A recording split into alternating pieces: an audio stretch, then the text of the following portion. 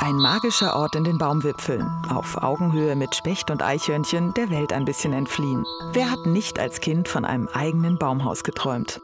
So ein luftiges Domizil reizt aber nicht nur Kinder. Zig Baumhaushotels und Apartments sind in den letzten Jahren auf Deutschlands Bäumen entstanden. Eins davon ist das Urban Treehouse in Berlin-Zehlendorf.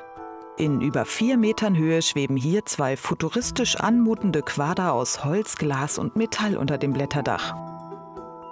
Hier treffe ich Kolja Stegemann, den Initiator des ungewöhnlichen Familienprojekts. Er hat das Grundstück von seinem Großvater übernommen, um seine Vision vom Leben auf den Bäumen zu verwirklichen. Wenn er nicht gerade selbst hier residiert, vermietet er die Baumhäuser exklusiv an die Mitglieder der Urban Treehouse Family, die für mindestens ein Jahr Miete zahlen müssen, um hier ihre Kurzurlaube zu verbringen. Sehr viel mehr Platz als in dem Baumhaus meiner Kindheit ist hier zwar auch nicht, aber die Ausstattung ist dann doch ein bisschen luxuriöser. Alles schick mit Designermöbeln eingerichtet, modernste Küche, Bad mit Regendusche, selbst WLAN und Fernseher sind vorhanden.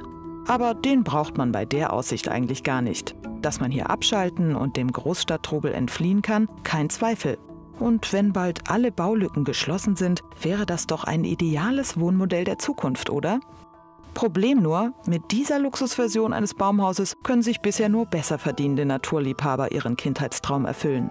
Aber wer weiß, mit ein bisschen weniger Komfort können wir vielleicht bald alle unseren eigenen Baum beziehen.